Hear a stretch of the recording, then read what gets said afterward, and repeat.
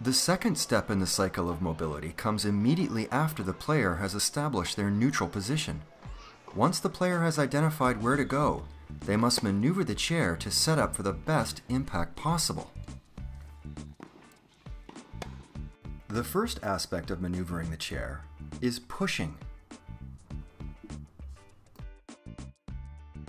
In order to propel the chair forward, the player must push with one or both hands. Learning to move with a racket in one hand is not easy. A push is equivalent to a stride in running. The more efficient the push, the more ground covered. For reference, we will picture the wheel as a clock. The player should start with their hand at 12 o'clock on the top of the wheel. They keep their hand in contact with the wheel and thrust through a full stride to the 3 o'clock position. In general, short, quick thrusts are used to quickly start and make fast adjustments.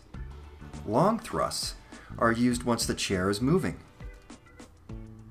The next aspect of maneuvering is called braking. By grabbing hard on the wheels and leaning back, the forward momentum of the chair can be stopped or slowed sufficiently to adjust to the ball.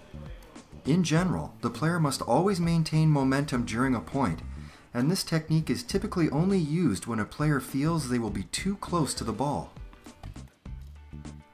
The next aspect of maneuvering is called turning. Turning is the most important mobility skill a player uses in tennis, as they must constantly modify their direction to respond to an opponent's shot. To maintain continuous momentum, rather than starting and stopping, which breaks momentum, players should strive to make constant circular mobility. In other words, they move in circles to keep their chair in motion. There are three key ways a player can change direction in wheelchair tennis. An in-turn is when the chair turns towards the net. In-turns can be used both on forehand and backhand sides. However, an in-turn is more natural on the forehand side. In-turns can also be used in offensive situations since the player moves into the court after hitting.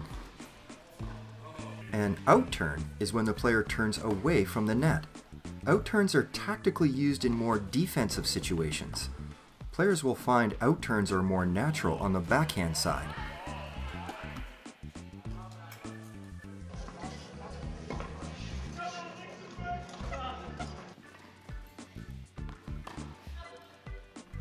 A pivot is used to get out of the way when a ball comes right at the player. To make the pivot, the player pulls with one wheel and pushes the other. A player can pivot to either the forehand or backhand side.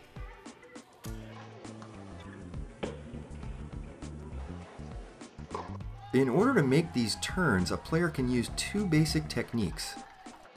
A push turn is for gentle curves, when the player pushes one wheel more than the other, which will turn the chair. For example, if the player wants to curve to the backhand side, they push the forehand side wheel more.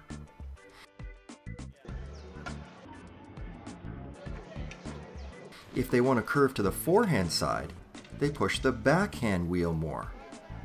The advantage of a push turn is the player's momentum is maintained.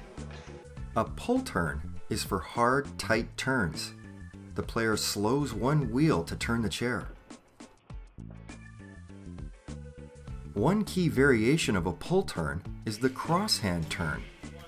This is only used on the backhand side. The player reaches across their body with the non-racket hand to slow down the forehand side wheel.